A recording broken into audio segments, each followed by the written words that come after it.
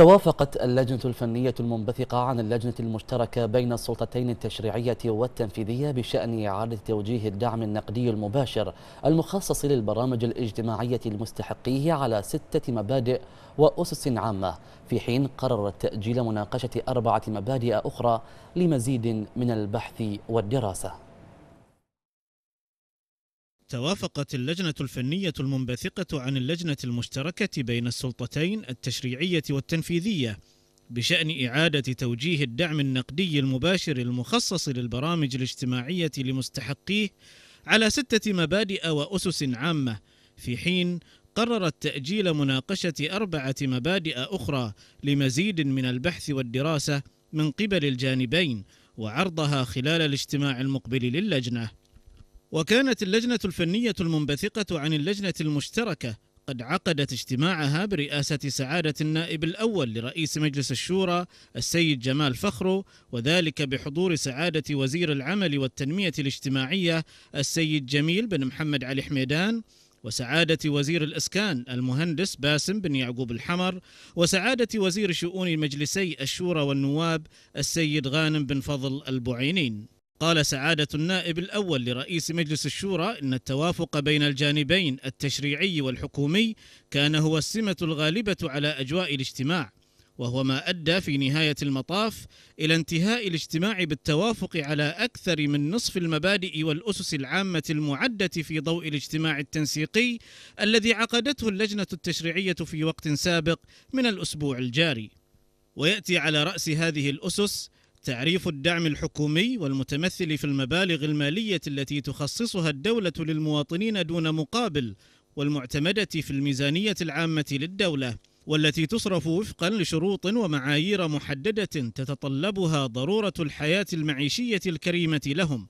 كما أشار سعادته إلى أنه قد جرى التوافق على مبدأ تحديد الحد الأدنى للدخل لتوفير الحياة المعيشية الكريمة للمواطنين على أن تتم مراجعته وتقييمه بشكل دوري وعلى مبدأ تحديد حد أعلى لدخل المواطن إما الفرد أو الأسرة بحسب الأحوال لاستحقاق الدعم الحكومي.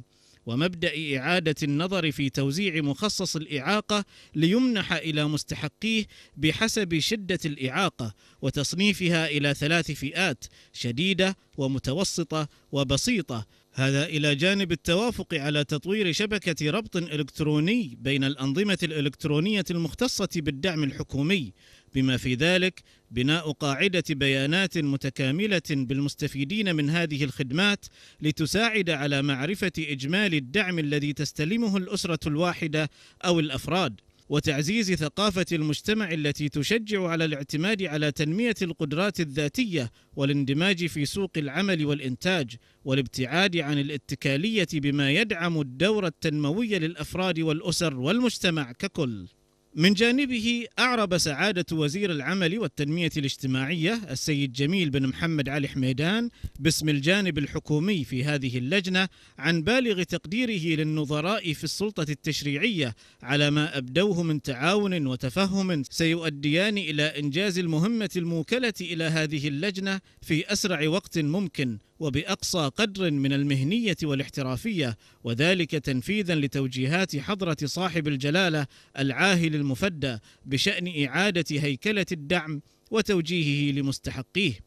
وأكد حميدان أن أعضاء اللجنة الفنية من السلطة التشريعية قد أبدوا تأييدهم لتوجه الحكومة الموقرة بشأن توحيد جهة صرف المساعدات والعلاوات الاجتماعية النقدية المباشرة وذلك لضمان كفاءة إدارة هذا الملف وفق أفضل الممارسات والمعايير المتبعة عالميا. هذا ومن المقرر أن تعقد اللجنة الفنية المنبثقة من اللجنة المشتركة بين السلطتين اجتماعها المقبل في وقت لاحق قريبا وذلك للتوصل إلى أرضية مشتركة فيما يتعلق بالمبادئ التي اتفق الجانبان على تأجيل مناقشتها لمزيد من البحث والدراسة.